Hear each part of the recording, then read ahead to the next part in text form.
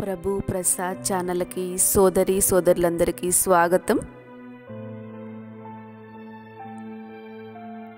ఈరోజు అల్లంతో చట్నీ తయారు చేస్తాము. అల్లంతో చట్నీ తయారు చేసేదానికి కావలసినవి పావు కిలో అల్లాన్ని శుభ్రం చేసి ఇలా కట్ చేసి తీసుకున్నాను.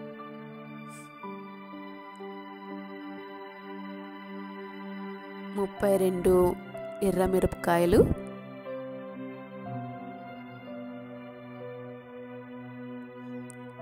యాభై గ్రాములంత చింతపండు.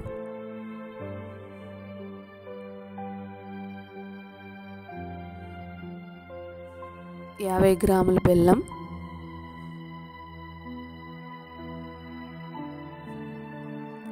యాభై గ్రాములంత ఆయిల్.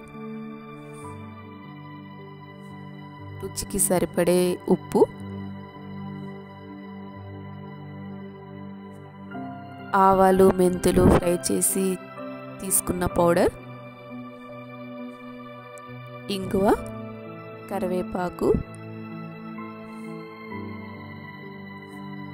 ఆవాలు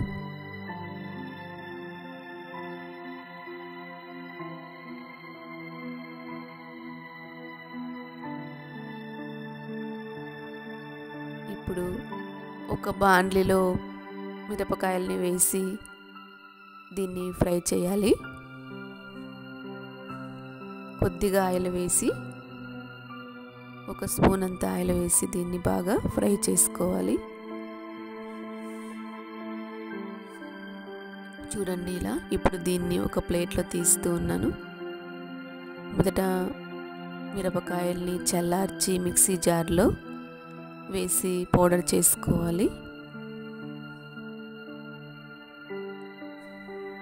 ఒక ప్లేట్లో అర్థం తీస్తూ ఉన్నాను. ఒకేసారి మిక్సీలో వేయలేము. అందుకే అర్ధర్థం వేసుకోవాలి. ఇప్పుడు చింతపండు ఏదైతే మనం నానబెట్టినామో దాన్ని ఇందులో వేస్తూ ఉన్నాను. అర్ధం బెల్లం అర్ధం చింతపండు ఉప్పు అల్లం కూడా అర్థం వేస్తూ ఉన్నాను. దీన్ని బాగా నైస్గా పేస్ట్ చేసుకోవాలి. చూడండి ఇలా ఉండాలి పేస్ట్. దీన్ని ఒక చిన్న గిన్నెలో తీస్తూ ఉన్నాను.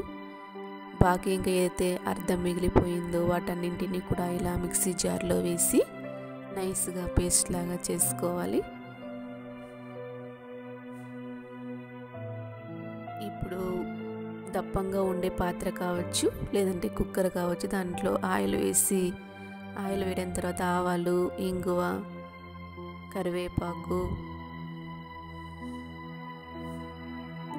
ఏదైతే మనం పేస్ట్ చేస్తున్నామో మిక్సీ జార్లు దాన్ని ఇందులో కలపాలి.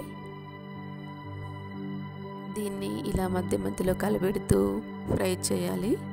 ఏదైతే మనం ఆవాలు మెంతులు పౌడర్ పెట్టుకున్నాము. దాన్ని కూడా ఇందులో కలిపి పదహైదు ఇరవై నిమిషాలు వేడి చేసుకోవాలి. ఇది చపాతి ఇడ్లీ దోశ కూడా చాలా బాగా ఉంటుంది. చూడండి ఇలా.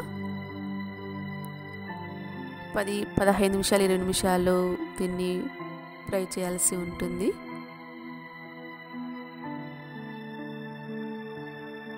దీన్ని సర్వింగ్ బౌల్లో తీస్తూ ఉన్నాను. ఇది అల్లం చట్నీ రెడీ అయిపోయింది. అల్లం చట్నీ ఆరు నెలలైన కూడా చాలా బాగా ఉంటుంది యూజ్ చేసుకోవచ్చు. అదరక్ అంటే అల్లం చట్నీ రెడీ.